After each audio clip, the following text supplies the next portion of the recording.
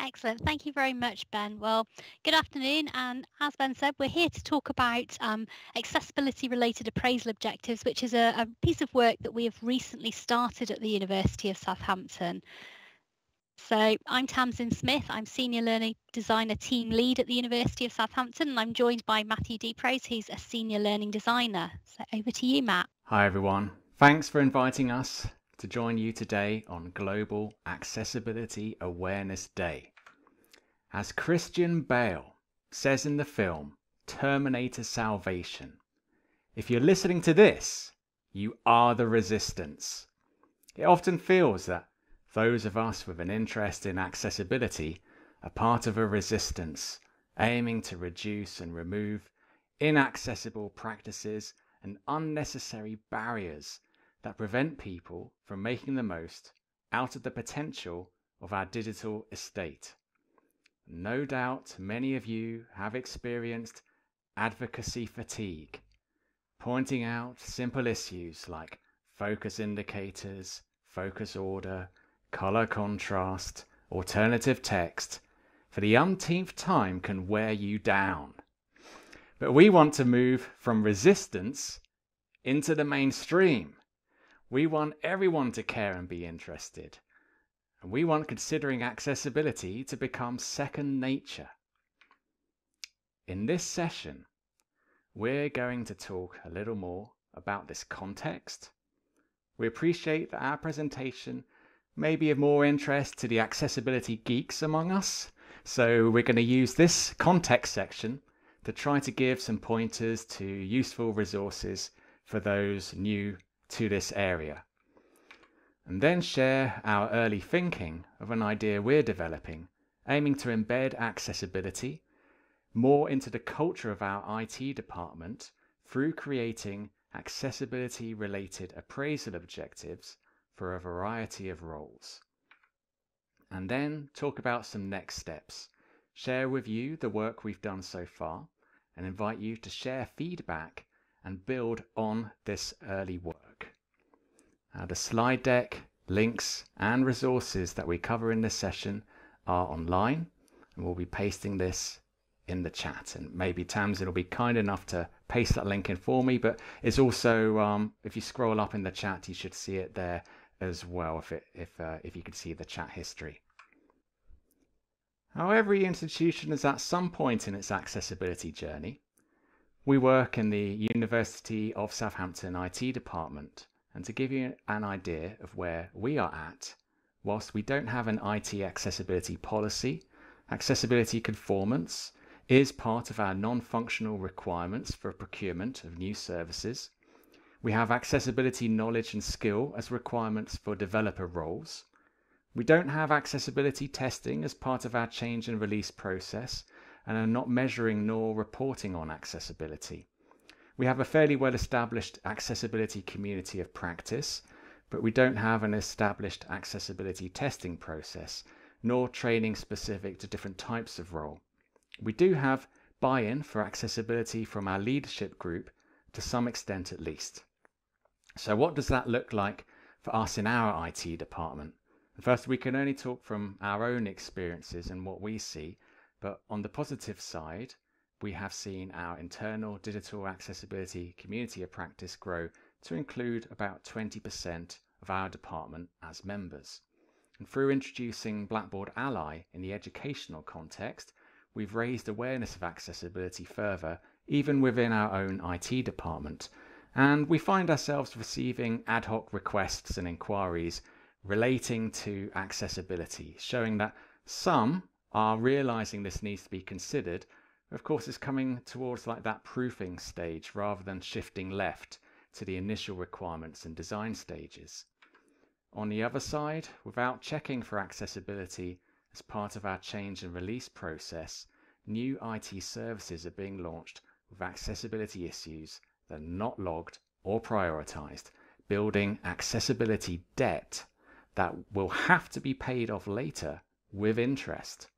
Like many institutions, we received our letter from the Central Digital and Data Office for not meeting our responsibilities under the accessibility regulations.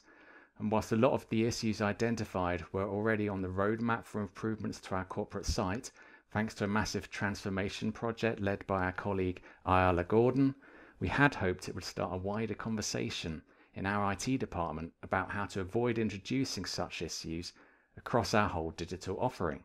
And for the moment, it seems that very few in our department are aware that the government has contacted us about this. And we need to acknowledge initiative fatigue.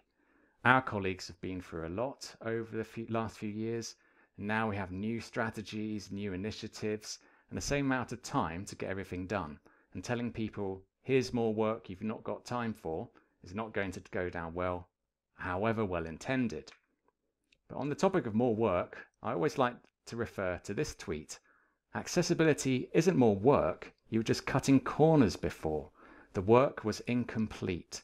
This is particularly relevant for a professional IT department. You might hear people in the accessibility community talk about sustaining accessibility. It's the fourth point on the planning and managing web accessibility pathway from the World Wide Web Consortium, W3C. Here, sustaining accessibility is about maintaining the momentum of our accessibility efforts. Looking at another framework, Lilian Joy at the University of York has done some brilliant work demonstrating how Kotter's eight steps can be used as a framework for shifting digital accessibility practice. The last of, the, of these steps is about anchoring changes in corporate culture. So embedding a change in departmental culture is obviously really important. If you'd like to learn more about Lilian's work, you can watch her presentation to the JISC accessibility community in a recorded webinar and read more about it on the University of York website. Continuing our thoughts about culture, Craig Abbott from the Department of Work and Pensions has recently published a blog post sharing his three pillars of accessibility. He writes that there are three core parts compliance, education, and culture. If you lack any of these three things over a sustained period of time, the strategy is unsustainable and your ability to consistently deliver accessibility services or accessible services will burn out. That mirrors Kotter's eighth step. And on the topic of the DWP, it's worth looking over their accessibility manual, which is a really useful resource. They have a section that relates accessibility to different job roles, which also aligns with some of the work we'll be talking about shortly. Back to the context. Now, as George mentioned on Monday's session, accessibility skills are in demand. While Teach Access found that very few university tech programs include accessibility, the Partnership on Employment and Accessible Technology did research that found that 63% of tech companies were unable to staff their accessibility needs, and 93% expected that demand for accessibility skills would increase. Last year, the Wall Street Journal wrote that accessibility job listings had increased by 78%. So, accessibility skills are in high demand. Universities tend to have a lower turnout than the private sector, but we will face the need to keep up that pipeline of maintaining staff with good knowledge of accessibility, which again will reflect into our organizational culture. On that topic, there's some resources to be aware of. Teach Access provides an accessibility skills hiring toolkit, and Scott O'Hara has created a list of accessibility interview questions for different types of roles. The W3C provide a framework for building your own accessibility training courses and Teach Access has a tutorial aimed at developers that cover some of the basics. For generalists, Microsoft have created an Accessibility Fundamentals learning path, and Hector Minto from Microsoft has a very practical LinkedIn learning course about accessibility in the modern workplace. For educators, LexDis has a very useful online course for inclusive teaching and learning strategies. We need to reach out across our IT organization to build that culture and awareness. And I'm sure many of you will have encountered colleagues thinking accessibility is about identity management and service access. It's a recurrent theme in our department to explain what we mean by, access- by accessibility. For example, a database manager recently told us, My job is to make things as inaccessible as possible. And in discussions with our communication platforms manager, he said it, he hadn't ever tested the corporate site platform for which his team is responsible with a keyboard. So when we talk about sustaining accessibility, we're thinking about how to keep momentum. Even without a formal accessibility policy uh, that we have that we're missing at the moment for us for ourselves, we can increment further by building an organizational culture that considers accessibility. So, what opportunities are there each year? Most institutions are likely to run annual performance reviews with staff reflecting on the past year's outcomes and setting objectives for the year ahead. You might call these appraisals, personal development reviews or something else. Now typically no one enjoys writing objectives. So what if we could give people some ready-made objectives designed to raise awareness and understanding of accessibility in the IT department and helping to create that organisational culture? IT departments have particular attributes. They are responsible for most, if not all, of the university's digital estate. So implementing technical solutions that meet accessibility guidelines can only really be done by the IT department. They tend to be embedded within their institution, touching almost all aspects and are often looked to for leadership. We're based in our IT department, but these principles can be applied elsewhere as well. So the idea is to create a bank of accessibility related appraisal objectives that can be used as is or customised and are appropriate for different types of role. We've, we've been focusing on generalist developers and system support roles and at different levels of accessibility awareness and skill suitable for whatever stage an individual is at. Ultimately aiming at steering towards the partnership level of maturity identified in the McNaught AbilityNet accessibility maturity model.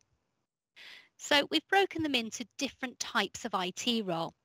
First, those that apply for any role, so universal or generalist. Then developers will have certain responsibilities for accessibility and also have knowledge of accessibility as a requirement in their job descriptions, so we need something for them we have a large number of application support specialists who are answering tickets, planning upgrades, writing documentation and so on. They're also responsible for roadmaps for services, so we need to consider something for them. And then there are other roles like business analysts, project managers and so on who may be dealing with vendors, planning out projects, and they might have a small number of objectives specific to certain other roles. And then we have four levels or stages. So we start at general awareness, moving on to discovering, focusing more on applying knowledge, building skill and exploring potential for improving accessibility within a colleague's area of influence. Then moving on to exploring, aiming for a deeper understanding of accessibility and its potential application and asking colleagues to collaborate with users with impairments and disabilities. And then finally moving on to advocating or championing.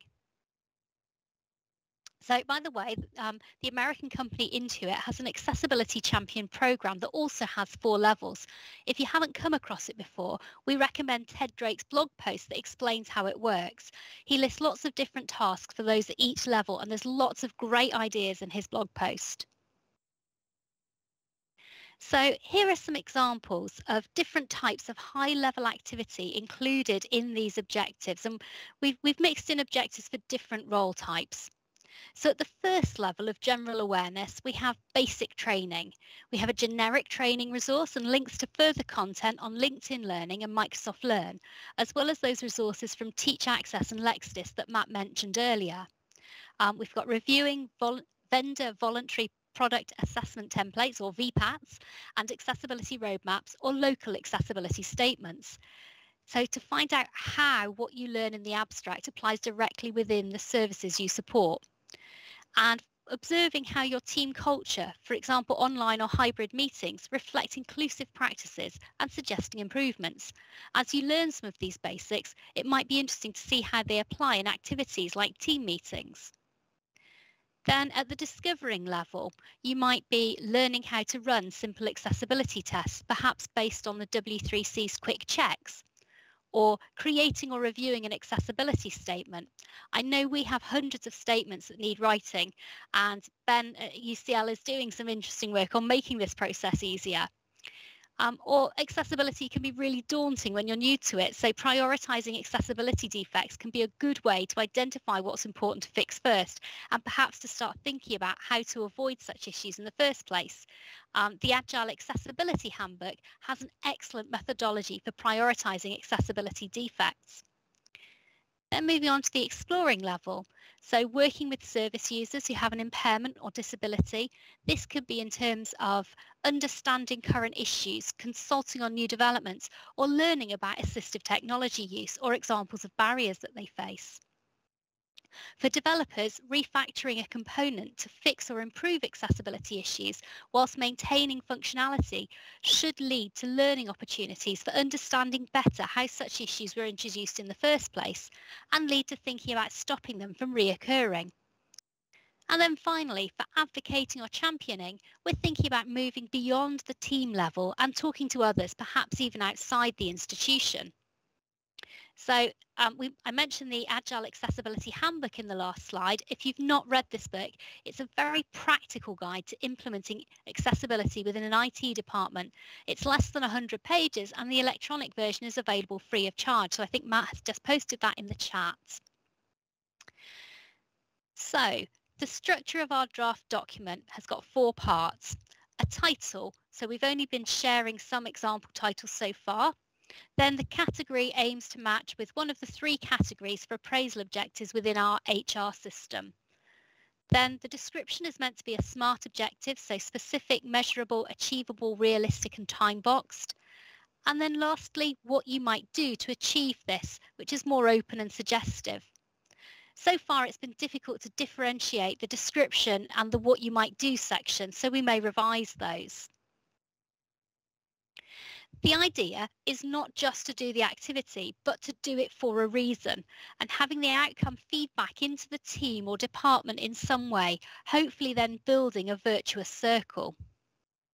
For example, discussing a service your team supports with a user who has a disability or impairment in order to identify work, what works well or not so well, and then gain a better understanding of the types of barriers the user faces with an outcome of developing an action plan to improve the user experience and discuss that with the team, business owner or user community.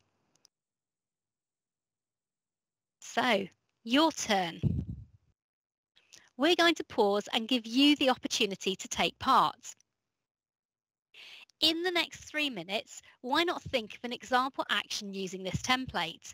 First, you will describe a role and a level of accessibility awareness. Then you'll suggest an action and describe its outcome and then add in how it will feed into a team activity.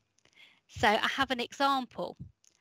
As a person wanting general accessibility awareness, I will turn on accessibility checking in Microsoft products in order to identify and resolve issues as I work.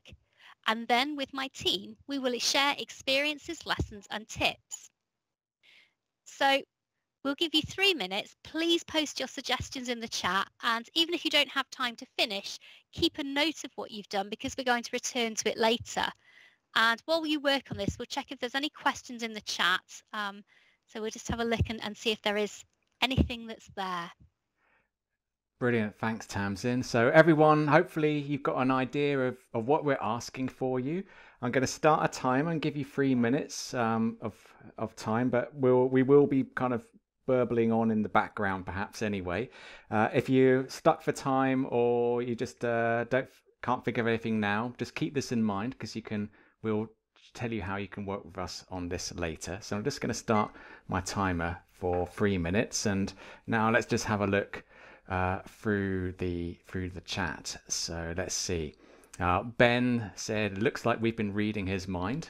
Which is uh, fantastic, and um, I hope not just that you were thinking that we're in the apocalypse, uh, trying to uh, make our way through a, a, a, world controlled by machines, but but that but in more in terms of the uh, of the feeling of the um, of being part of a resistance and trying to make things yeah. things better. And I'll just continue just checking out the uh, what was in the chat. So Ben, again, thanks for contributing. You mentioned that someone very senior in a large public sector body in the past said accessibility means making stuff available on your website 24 7, doesn't it? And then Mike added, it does, but we need to add that for everyone, which is uh, incredibly relevant, of course. And I think that um, we've uh, exhausted what was in the chat, but um, ben, it's up to you and I to fill in the, and with Tamsyn to fill in the next two minutes while hopefully some of our attendees are, are, are making some notes of some of these I of, of some of these ideas as a and then role and level of accessibility knowledge. I will so think of an activity in order to so to achieve some kind of outcome, and then with my team we're going to then feed in and, and use that information in some way. So sorry I interrupted you, Ben. Go ahead. Oh, I was just going to say I'm very happy. I, I had a quick go. I, I, was completely inspired by this, and I, I, I thought I'd. I, would it be good for me to share that now as a quick example? Yeah, See go for it. Right. Yeah. Um, so as an academic, I will always wear a microphone in order to ensure captions are as accurate as possible. And then with my team, we will share the outcomes of this to encourage other people to do the same. Brilliant. I love it. That's fantastic. That's it's, really good. It's one of the, the, things that always comes up. So it's very near to my heart, that one. Um, oh, oh we've got a lovely example there from Claire as well. Thank you, Claire. Um, as a college disability tutor, I will turn on an alert encouraging students and staff struggling with digital accessibility to outline what they're struggling with in order to understand what the challenges we need to tackle are. And then with my team, we will tackle as many things as we can to improve this. Brilliant. So thank you, Claire. And Ben, I would love to say as a, as a partially deaf academic, I wish so many more people would wear a microphone because it can be really tough. So that's a great, a great goal. Thank you. I, I, I think, you know, because there's all, all, lots of talk about captions and the the kind of time pressures of, of correcting captions. And I, I think, you know, that's for institutions to discuss about where the responsibility for that ultimately should reside. But I think getting people to meet people halfway by wearing a microphone, not turning their back, explaining acronyms they're using, repeating questions from audience members. There are so many things that can improve the chances that the automatic speech recognition has. So I think things like this and building it into kind of appraisals is just brilliant because I think there is definitely a initiative fatigue, a bit possibly like there was with GDPR. Everyone got very excited about it for a time and then the deadline came and it, it seemed to fall off a cliff a little bit. Um, so I'd hate that to happen here. And I think setting goals that people have to achieve year on year as part of their appraisal kind of makes it, I don't know, a bit more meaningful, doesn't it? And therefore it's not just the people who are interested, the people who are the accessibility people doing this. It's kind of everyone's responsibility. And I, I love that.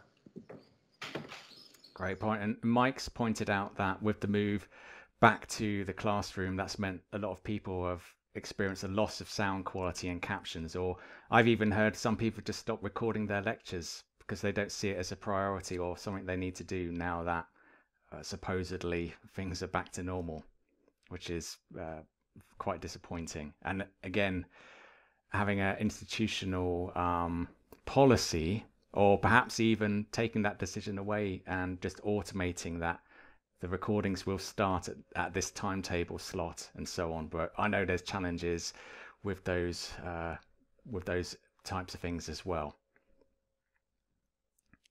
And Mike's also suggested that accessibility should be part of promotion criteria, and I think that's that's very relevant as well.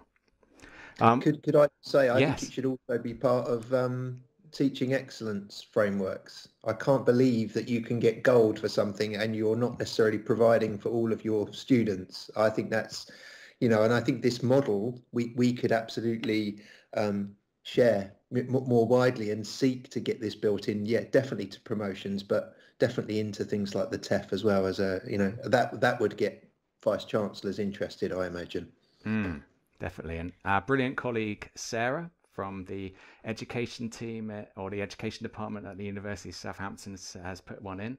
As an academic, I will introduce VPATs, um, that's voluntary product uh, accessibility templates, as a tool to to colleagues in research in order to promote inclusive digital procurement for research, conferencing, etc. And then with my team, I will evaluate progress and challenges, pinch points, and some great chat coming in that I just had to, just scrolled away from my eyes. So, and then with my team, I will evaluate progress and challenges slash pinch points to build on this knowledge. That's uh, fantastic. And, and Ben, you uh, did you want to talk about what Meta had said at the um, on Monday at the going about the going back is not a choice launch? Well, just you know, going back to Mike's point about this this worrying kind of rollback to physical modes of delivery and and seemingly forgetting all of the brilliant stuff we learned during the, the pandemic and all the pro- progress we made. The one tiny ray of light, well, huge ray of light from a really awful experience was we made some really excellent progress and and not just for people with disabilities. I, I think universally for, for everyone in terms of you know, uh, home working and just being able to access learning with with a choice. And I think it's such a shame if we switch off some of the things that gave that choice to people. So it was just a reminder that Meta, who's behind the uh, Disabled Students UK report, um, spoke earlier this week very powerfully about that and the impact of that. And I think that's um, for anyone who wasn't able to see that, please please check back the recording and read the report because it's um, it makes that case very powerfully why we mustn't switch that stuff off. Definitely, definitely. And one last one before we will carry on with the presentation. But Alison has written, as a learning designer, I will use the accessibility checker when creating Office 365 materials in order to highlight anything I may have missed. And then with my team, I will ask for suggestions of fixes to the things I don't understand. And one thing um, earlier today, I gave a presentation about writing alternative text for complex graphs and, and images, and just f- through learning about that, uh, showed me how how deep you can go with writing alternative text and full descriptions. So I think that's a really nice way feeding back with the team, especially learning designers might encounter lots of complex images for which they're not the subject matter experts and needing to understand good approaches to working with with those subject matter experts to write that really uh, good, relevant, contextual um, alternative text. I see Leon. There's one more there, Matt. Leon, yes, I think you just picked that one up. Um, I'll so let you read, read that out. Yes. Leon's one. Um, so, as a member of staff with a particular interest in digital accessibility, I will keep learning about how to make everything available accessible to all in order to allow anybody to access any information and or material. And then with my team, we will work together to increase our ability to learn about and further recognise the needs that exist, especially those which are not being addressed. So yeah, another good one. Thank you very much, Leon. Yeah, thank right. you, Leon.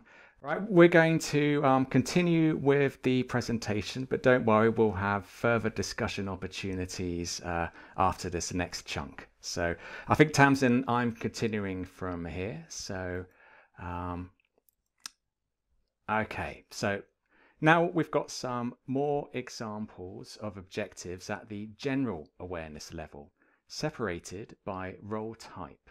Now these are just high level on this and the following slides, and we're just showing the starting point, which is why each line ends with and dot dot dot. So for everyone, we have a basic level training course. We don't want people just to complete it, but to reflect on what they learn and discuss it in a team meeting or with a colleague, and perhaps reflect three months later on how what they learned affected their day to day work. And developers uh, our, in our IT department are expected to have knowledge of modern HTML, CSS, and JavaScript and its impact on accessibility. Excuse me. It's in their roles person specification, so they should be starting at a higher level already. There's a useful tutorial on Teach Access that we showed you earlier to refresh the basics. We might want them to reflect on their experiences already from having that knowledge perhaps in the form of a presentation. It doesn't have to be a good experience. We can learn a lot when things go uh, bad or wrong as well. For support specialists, it's important that they understand to what extent the services they support meet accessibility guidelines because they tend to be the service owners. So understanding VPATs, accessibility roadmaps and statements is a good start, especially replicating errors or validating the truthfulness of these statements because would you believe sometimes the VPATs are not 100% accurate. And just doing these exercises is likely to lead to discoveries that can be fed back within the support team and to the vendor, be they internal, like we internally develop something, or external, we use a commercial solution. Here's some level two examples, again at that high level of detail. Here we're at the discovering stage. At the generalist level, uh, we want people to become confident using accessibility checking features in Office and resolving defects in content. For developers, we want them to go a bit deeper into testing, starting with the W3C's quick checks. It can also be useful not only to learn about some success criteria from the Web Content Accessibility Guidelines, but you can get a deeper understanding by studying the sufficient techniques. And those are examples of how to meet certain success criteria provided by the W3C in the Web Content Accessibility Guidelines. So we might then ask, for, for them to give a demonstration or presentation to colleagues at a team meeting and then lead a discussion. And support specialists could start reviewing their support guides and documentation and revising those for accessibility. For example, using semantic ordered lists for step by step and using select rather than click within written instructions. Commercial off the shelf services with VPAT should then help make writing accessibility statements fairly straightforward. And again, they should be feeding back lessons to their teams and feeding forwards to vendors and so on. here's a light overview of some level three exploring objectives. We might ask generalists to reflect on their own working practices and behaviors and look for how small changes may result in more accessible or inclusive outcomes. We might also ask developers or support specialists to work with staff or students with disabilities, observe how they use the services for which they are responsible, and talk through potential improvements or promote how assistive technology works with a university service. Most of our support specialists have never tried to use a service that they own with a keyboard or screen reader. And still, these are high levels, just to give you an idea, and obviously these are not written out as smart objectives. At the final level, we're looking for people to share their lessons, good or bad, with the wider department or external audiences, building up that organizational culture. Pair programming, where a developer with more accessibility experience works with another developer, can be a good way to work through those accessibility puzzles that I'm sure we've all encountered uh, in our time. And building on partnership, support specialists by this point should be building a close working relationship with staff and student groups. And pair programming has been, by, has been recommended by Mark Steadman, who is the principal accessibility engineer at Fidelity Investments.